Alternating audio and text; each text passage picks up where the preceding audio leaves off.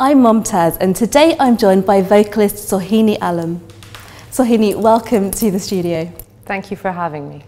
So you're actually a third generation singer. You grew up with music. What was it like growing up in such a creative environment? Uh, it was really wonderful actually. I got to uh, sing with my cousins and my aunts and my grandparents. Uh, so we had music around all the time. My mother would teach it to other people. So it was, it was really nice. I, I got to listen to a lot of music growing up. And in terms of singing, what language were you actually singing in? Uh, I grew up, I tr my training was primarily in, in Bengali music. So, I mean, I grew up listening to a lot of different kind of music, but my training and my singing was usually in Bengali. So in terms of what you're doing today, you obviously sing in Bengali, you also sing in English, but you work with musicians from all over the world. So what's it been like kind of bringing that Bangla element into what you're doing? Well, the thing is, in London, there are musicians from all over the world, which is a really amazing resource. Um, and it's, it's, it's a place where a lot of people have come to, you know, call home, maybe because like me, they are parents of immigrants. Um, and it's been really interesting to be able to see uh, and to look for and find commonalities between our different kinds of music. Uh, and so for me, it was natural to sing in Bengali, but I heard the music differently from how my parents would hear it. And so my interpretations of the music, or when I worked with musicians from here, tended to be slightly different than what had come previously. So in terms of the music you're creating, mm -hmm. um, how much of a conscious effort do you actually make to make sure there's a Bengali inspiration, a bit of Bangla in there? Is that something that's important to you or does it just happen if it fits creatively?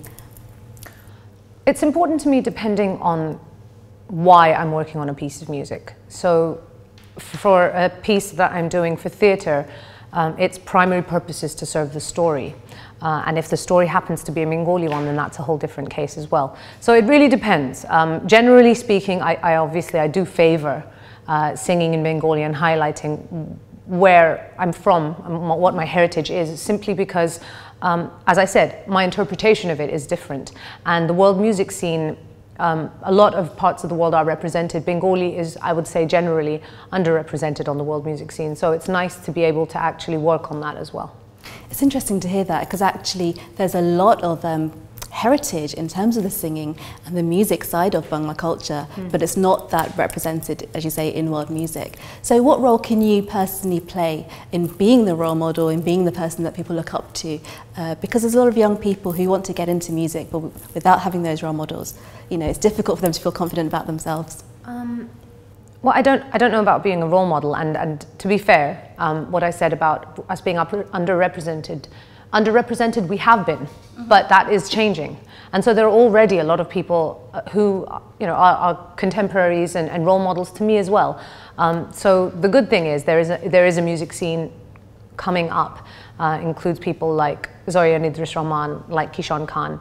Um, so there's a, there, you know, there's a lot happening in terms of Bengali becoming part of the world music scene. And for me, it's just really nice that I'm here to see this because there was the original wave of, of um, State of Bengal, Sambhai, bless him, he, he you know, started something uh, along with that entire Asian underground movement in the 90s. And now there's a whole new wave of music coming out um, that's very different and caters to a very different audience now that there's internet and, and, so, so when you mention this audience who mm. are the people who are listening to contemporary bengali music at the moment? Is it just people who understand the language or are you actually seeing people from I know, different backgrounds sort of encountering it for the first time? And also what are their reactions to it? Um, well, for us, again, because London is such a cosmopolitan city, we find that uh, at least half of our audience tends to be non-Bengali. And also because we're, we're trying to actually perform in spaces that are meant for everyone. Because just like other kinds of world music, everybody comes and listens to it.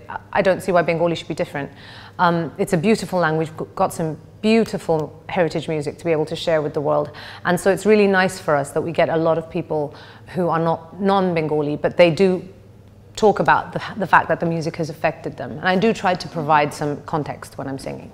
So in terms of what you're singing, do you tend to do your own writing? Do you tend to work with other lyricists? Um, what's the kind of, and also the repertoire that you actually perform when you're on stage? Well, in terms of my band work, I'm with two bands. So there's my band Khiyo, And we tend to generally focus on heritage music of, of Bengal and uh, our interpretations of that, although we have been doing some original work. Um, so my friend Leesa Gazi, she's a writer, a brilliant lyricist, and so when she, she writes lyrics for us, my Bengali is not quite strong enough for that. And um, I tend to work on the music for that, and then band Ollie and I in Khiyo, we work on uh, arranging it with the rest of the band. So that's one aspect. With the other band uh, that I'm in, that's, uh, that's Kishon Khan's band. It's an Afro-Cuban Bengali jazz band, and it's uh, Lokkhi Terra. And in that one, we also do uh, focus mainly on heritage music, but it's, it's uh, Bengali folk given an Afro-Latin twist. So it depends on, on the band and the... Where did that come about? Because it's not the average or kind of expected collaboration. Well, if you've ever met Kishon Khan, he's not average at all. So it's, it's really his baby. Mm-hmm. Um, and it's, it, that's, uh, that particular band is a lot about his uh, musical uh, exposure and what he's learned and what he want, where he's from as well. So he's doing his bit uh, to work with his heritage in a musical way. So we've mentioned this umbrella term world music. Um, do you think we will see vocalists singing in Bengali, singing in Bangla, coming out of that big umbrella? Can they actually go into what we know as kind of mainstream pop music? Do you actually foresee any of that happening? Uh, I don't know. It really depends because technology seems to be shaping um, a lot of how we interact with the arts nowadays. And so what seemed unthinkable, say, 20 years ago in terms of how, how much exposure you could get as a musician who's not doing something commercial. Um, that's changed. The, the, way music is, is distributed and listened to has changed. So how things will progress, we'll just have to wait and see. For now, I'm just, I'm just focused on actually being able to get what we've got out there.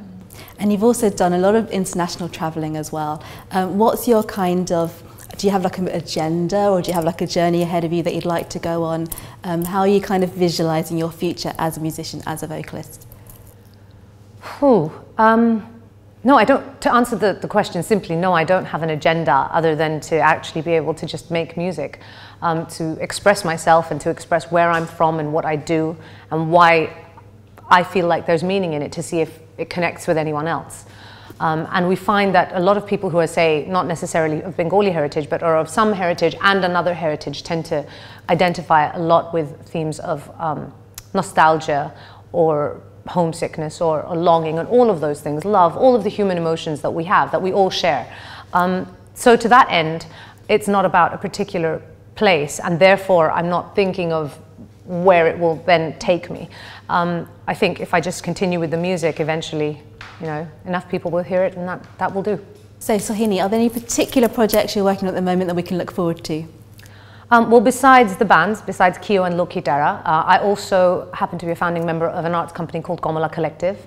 And uh, we're currently working on two projects. One is uh, a, documentary film about the Biranganas of Bangladesh. So that's called Rising Silence, and hopefully um, that will be ready soon. We're also working on a stage play that's based on the legend of Bon Bibi from the uh, forest in Bengal in India uh, and in Bangladesh. And that play is happening this summer, so 2016. Uh, there's a whole tour um, that we've got going on. And me personally, I'm also touring with um, the wonderful Akram Khan, who I'm sure you know is a wonderful dancer and choreographer. So his new production, Until the Lions, is currently touring everywhere. Um, so I'm keeping myself busy. Absolutely. Well, thank you so much for finding the time to come and speak to us. It's been a real pleasure speaking to you. Thank you, Mumtaz. Hope you enjoyed hearing all about Sohini Alam's incredible musical journey. Oitijjo Presents will be back soon.